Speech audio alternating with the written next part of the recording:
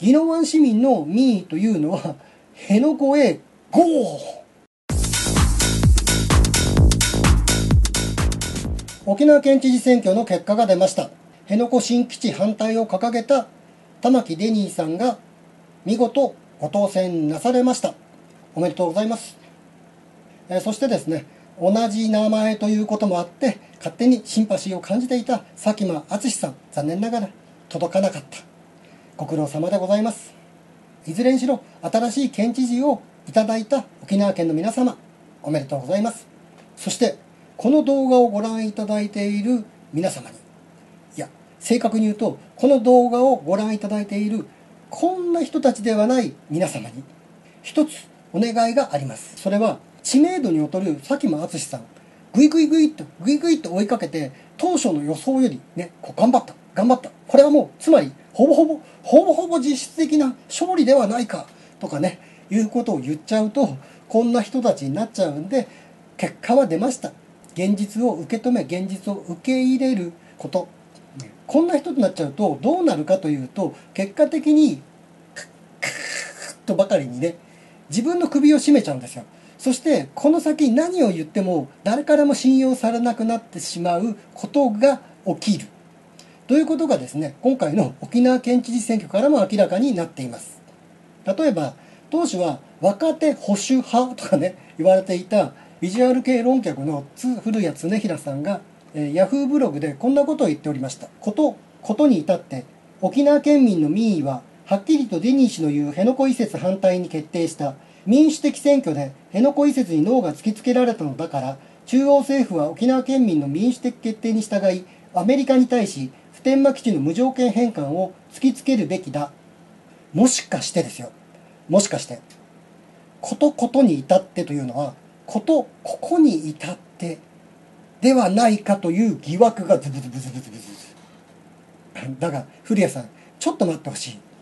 国防、まあ、いわゆる安全保障と外交というのは国の専権事項なんですね。国がやるもんなんですよ。こんなのもう常識中の常識。一方今回選ばれたのは沖縄県知事なんです。沖縄県知事に与えられている権限仕事というのは沖縄県政に関することで国防も外交も入ってないんですね。もちろん在日米軍のある沖縄県の知事なんでそれに対して国に物申す意見を言うことは大切ですよ。なんですけど沖縄県知事が変わったからといって外交方針が狂って変わるなんてことはありえないんですよ。そんなことが許されちゃうと知事の任期は4年ですから4年ごとに外交方針を変えなければならなくなっちゃう。そしたらどこの国も日本と約束なんかできなくなっちゃうんですね。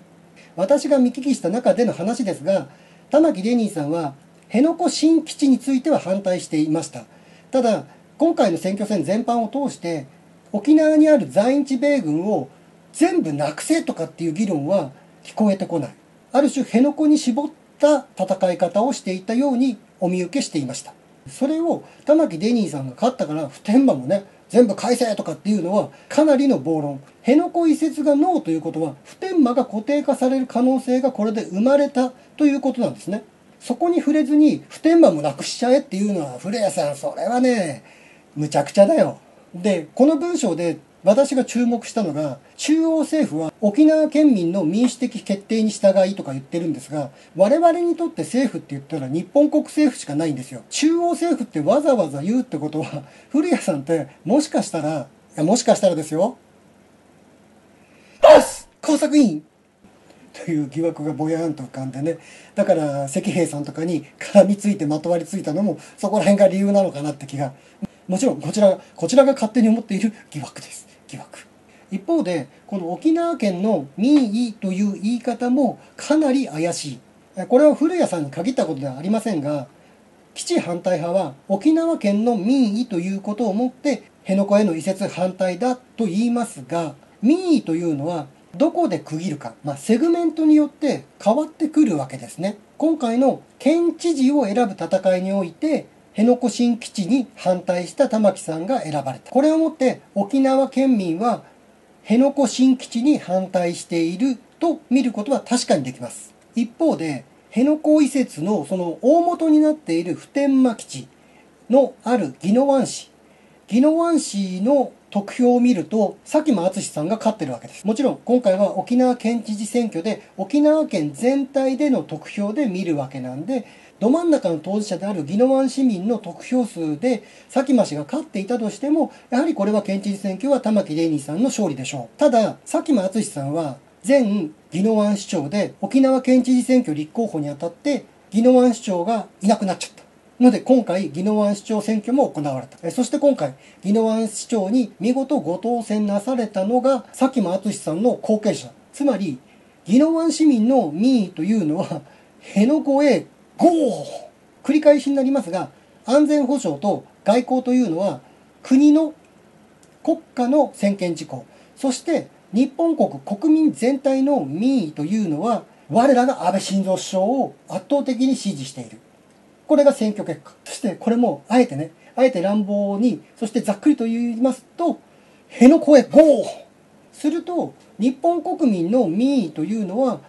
普天間から辺野古に移そうねということになっている。そして普天間を持つ宜野湾市民は辺野古へ GO なわけです。市民が県政に口を出すなというんであれば県政が国政に口を出すなっていう理屈になる。沖縄県政は国政日本国の国政に文句出せるけれど宜野湾市民は県政に口を出せない。みんなバカになって。それぞれ市なら市。県なら県そして国という単位で行政は動いているわけでそれぞれの職分がある。県民の民意を主張するのであれば市民の民意というのはどうなるのか。そして国民の民意というのはどうなるのか。さらに今回の選挙結果はいささかいささか切ないものを見せられました。沖縄県の基地反対派の方はですね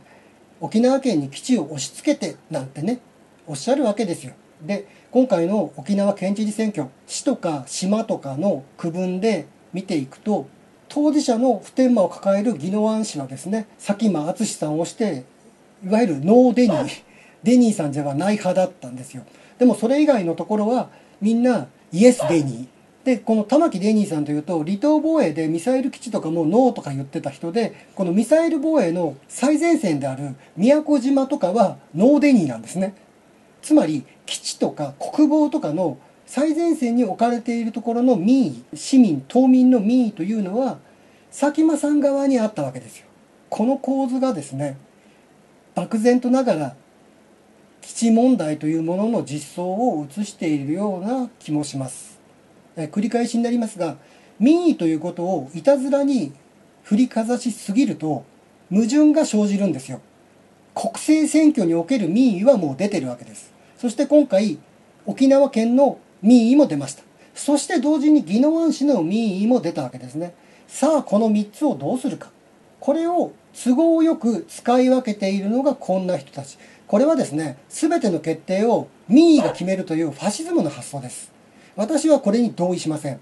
そしてこの国県市の民意どうするかではないんです。市長に与えられている権限。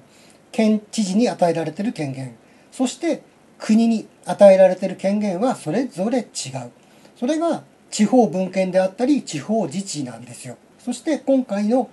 沖縄県知事において沖縄県の民意は玉城デニーさんを選んだ。もうこれは厳然たる事実なんでそれを受け入れましょうと。これを佐喜真さんが追い上げたからね半ば勝ったんじゃねえの？とかねやっちゃうとさあどの民意を選びましょうゲームになっちゃう。この民意の切り取りというのは年がら年中使われているんですが選挙といえば直近行われたのが自民党総裁選挙、えこの時勝利したのは我らが安倍晋三首相。55%をゲットしました。国会議員票は圧倒的で地方票も55%をゲットだぜ対抗馬になったのは彼らの石破ゲル先生。後ろからスナイパーゲル。ゲル、えー、石破ゲル先生が45%こんな人たちはですねこの石破ゲル先生の45%を持ってほぼほぼ半分じゃね？いや、むしろ、むしろ買ったんじゃね？この45%、45%の民意を大切にしないと自民党は偉いことになってしまいます、ます、ます。さて、今回の沖縄県知事選挙。玉城デニーさんは55%、佐喜真淳さんは44%、正確に言うと43.9いくつになるんですけれど、まあ約44%。どこかで見た数字じゃないですかね。我らが安倍晋三首相が55%。後ろからゲル、ゲル先生が45%。え今回、玉木デニーさんが55%、え、そして佐喜真淳さんが44%ほぼほぼ同じ割合するとこんな人ロジックを使うともうほぼほぼ佐喜真淳勝ちじゃね？半分のミー勝ちじゃね？つまり辺野古新基地 OK という県民民意が示されたということは玉城デニーさんはもうこの民意にこの民意に従わざるを得ないんじゃねっていう話になっちゃうっていうこと。ついこの間の自民党総裁選挙では石破ゲルゲル先生を応援していた。ほぼほぼ勝利じゃねえと言ってたこんな人たちはこれについて実に恥ずかしい光景が展開されています。彼らのことをダブスタというのかご都合主義というのかはたまた嘘つきと呼ぶのかどう呼んでいいかとても頭を悩ませている今日この頃でございました。えご視聴いただきありがとうございます。またの機会もお付き合いいただければ幸いでございます。今回もワンコのコーナーでお別れです。